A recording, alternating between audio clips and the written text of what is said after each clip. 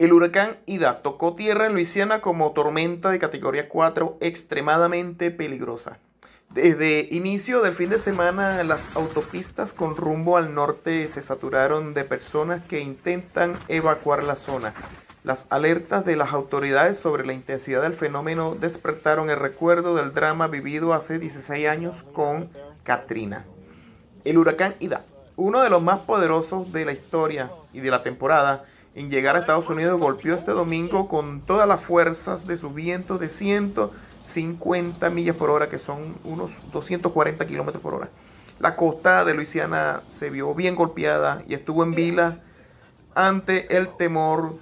de que Nueva Orleans pueda revivir la devastación que hace justo 16 años provocó Katrina.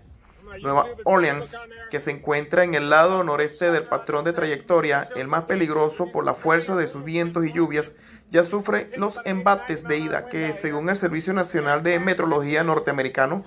puede provocar una marejada ciclónica catastrófica, con vientos extremos, inundaciones y riadas en toda la región.